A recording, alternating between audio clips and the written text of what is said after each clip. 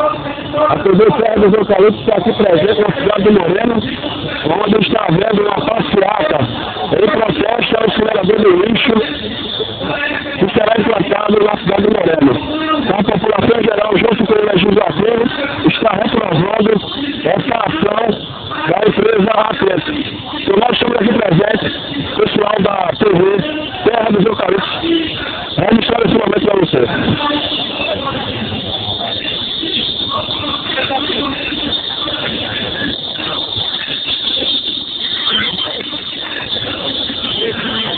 o ato, o ato de da população moranense.